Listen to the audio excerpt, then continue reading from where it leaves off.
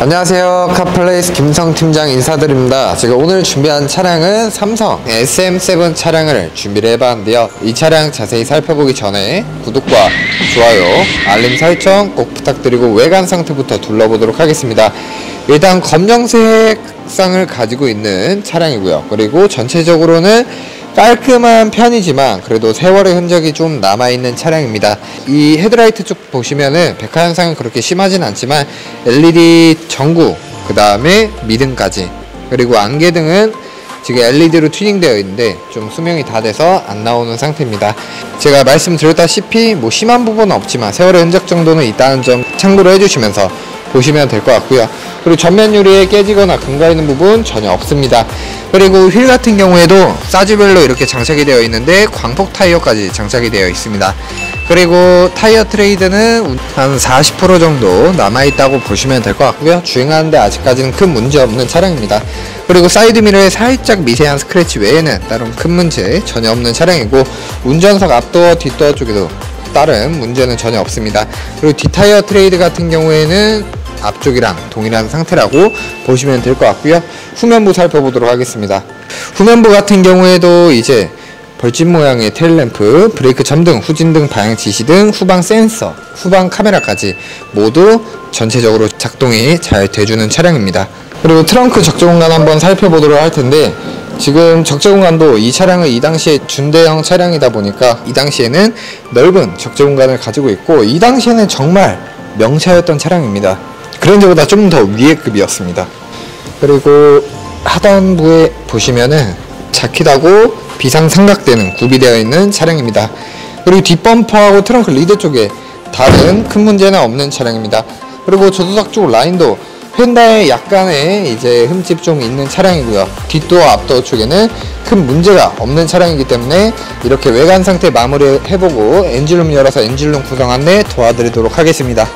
자 그리고 이렇게 SM5 차량 엔진룸을 열어봤는데요. 이제 세월의 흔적 치고는 굉장히 엔진하고 미션 관리는 굉장히 잘 됐습니다.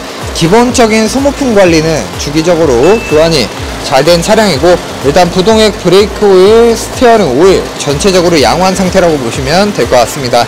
그리고 엔진 자체도 심한 떨림이나 부조 현상 전혀 없는 차량이고 V6 3500cc를 가진 차량입니다 그리고 배터리 전압도 정상적인 상태고 그리고 이 차량의 엔진 소리 들어보고 바로 이제 실내로 넘어가 보도록 하겠습니다.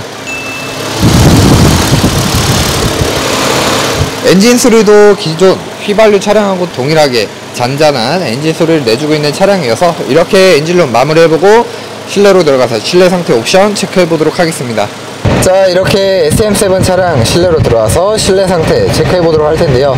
일단 도어 쪽하고 그 다음에 대시보드 하단부 쪽하고 그 다음에 시트까지 모두 베이지 시트로 구성이 되어 있는데 이 차량 같은 경우에는 생활 흔적이 좀 있지만 그래도 시트가 해지거나 그렇게 더럽다거나 그런 부분은 전혀 없습니다. 실내 관리도 어느 정도 잘 된 차량이고요. 그리고 지금 따로 뭐 핸들 가죽이나 이제 그런 부분들은 전혀 이상이 없습니다 그리고 옵션 설명드리자면 네, 1열 전동 시트 장착되어 있는 차량이고요. 그리고 운전석 도어에는 주유구하고 트렁크 오픈 버튼 그리고 전좌석 윈도우 조작 버튼과 그 다음에 차량 도어락 기능 들어가 있습니다. 그리고 운전석 쪽에만 메모리 시트 기능 장착이 되어 있는 거고요. 그리고 네, 메모리 시트까지 정상 작동해주는 차량입니다.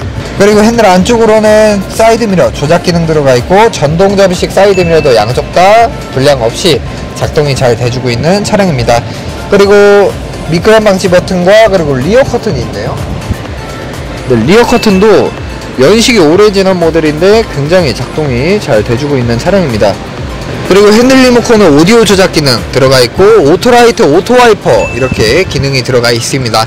그리고 계기판 일반 아날로그 계기판 그리고 사제 하이패스 기기 그 다음에 ECM 룸미러 그리고 앞뒤 two채널 블랙박스까지 장착이 되어 있는 차량입니다. 그리고 후방 카메라도 정상적으로 깔끔하게 잘 나와주는 거 확인해 보실 수가 있고요. 내비게이션도 정상 작동해 주는데 웬만해서 이제 내비가 좀 오래됐기 때문에 이 내비게이션보다는 이제 휴대폰 내비게이션을 보시는 걸 권장해 드립니다. 내비게이션이 터치식이 아니고 이 밑에 버튼들로 조작을 하는 건데 순정 내비게이션이라고 보시면 될 것 같습니다. 그리고 공조기도 시원하게 에어컨하고 히터 시원하고 따뜻하게 잘 나와주는 차량입니다. 그리고 멀티미디어 조작 기능들은 밑에서 보시면 되고 그 다음에 오디오 한번 확인해 보도록 하겠습니다. 네, 월드 메리디안 송도 1566에 네, 라디오도 문제없이 주파수만 맞으면 잘 나오는 차량이고요. 그리고 CD룸, 그 다음에 AUX port, 그리고 밑에 쪽에 1열 열선 시트 장착되어 있는 차량이고요. 그리고 밑에 쪽에 시거잭 장착되어 있습니다.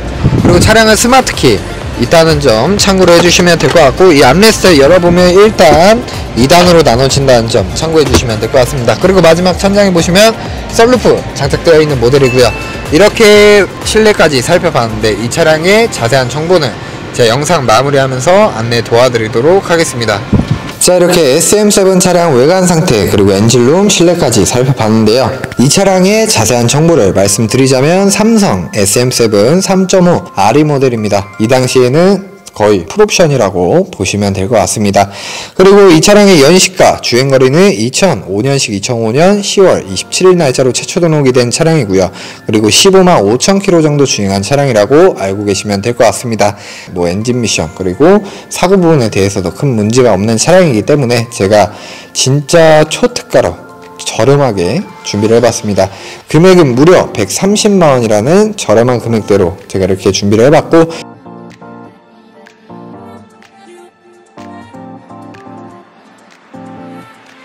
이 차량에 대한 궁금한 점은 저희 카플레이스로 전화나 문자, 카톡 주시면 친절하게 안내 도와드리고 있으니까 부담없이 상담 문의 주시면 될 것 같습니다. 그리고 이 차량은 선착순이니까 뭐 팔리고 후회하지 마시고 보는 즉시 바로 상담 문의 주시면 감사드리겠습니다. 아무튼 이 차량 잘 보셨다면 마지막으로 구독과 좋아요, 알림 설정 꼭 부탁드리고 영상 마쳐보도록 하겠습니다. 지금까지 카플레이스 김성 팀장이었습니다. 감사합니다.